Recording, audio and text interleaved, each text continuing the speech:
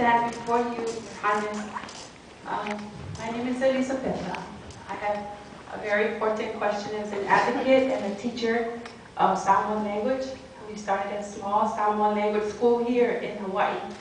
And I have a very um, important question that I want to ask. As a leader of, of Samoa, what are your thoughts are in the future as you had mentioned, the impact of technology with our youngsters that are growing up in terms of reviving, preserving, and maintaining our Samoan language with our youngsters. I'm going to, to say something which is which may sound a patriotic, but it's true. The Maoris are doing great things. They're surging ahead have set an example for all of us. Um, how do I make my meaning clear? Every village has an emblematic flower, and they celebrate this emblematic flower through chants, their birth chants, their death chants, their chief installation chants, you know, just about everything. You know. Take my, the village that I belong to, Salani the emblematic flower is the oli. And when I was, it was known that I was looking for oli because they're not as plentiful as they used to be. I had people much older than me saying, Tupua, when you go looking for an oli, I want to come. People from Salani, and I say, why do you want to come? Because we've never seen an oli. And that is sad. Because that is part of their, their culture, their soul, their language. The, the imagery, the poetry in those chants, you know, are some of the finest that we have. And there's no way you can understand the metaphors and the ambience of the falling to the ground with the fragrances, you know, that pervade the whole scene, uh, unless you have seen an oli growing, you have seen it blossom, bloom, wither, die.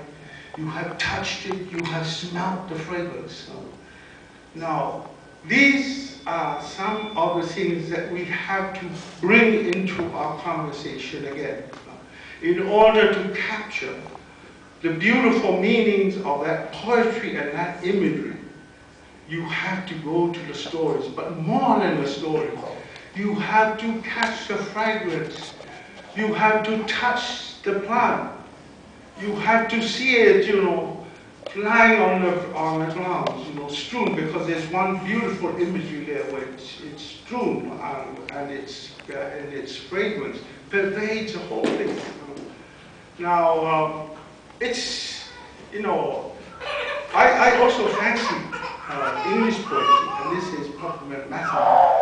And when I go to India, I go to the, Lake District, because one of my favorite poets, because I love watching the daffodils, and I want to recite it. And it's the same thing with South, it's no different.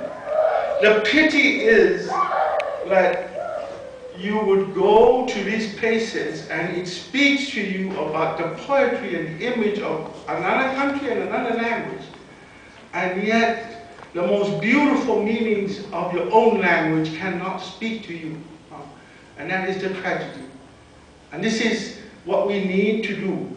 Uh, if we, the Maoris uh, have uh, gotten an advantage because they have lots of resources. They have themselves resources, but the government also provides lots of resources for the research.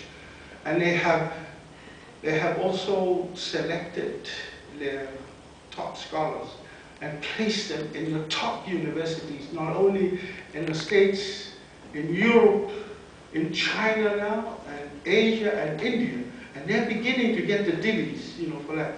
Because uh, in the end, it, it's, it's not only about it's not only about restoring things, it's also about intelligence. Let's sustain it.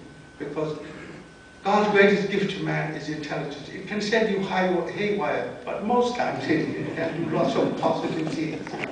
And that, the, the, the beautiful things has to be, has to be uh, expressed in the best possible intelligence, uh, the the mind, but also the intelligence of the soul and the people.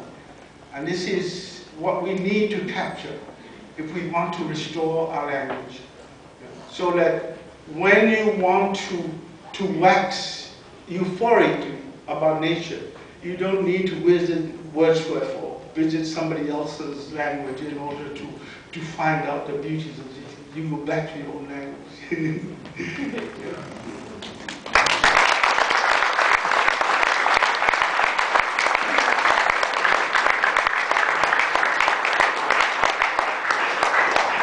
Ladies and gentlemen, we will turn a few minutes to President Will Wright to uh, say a few words.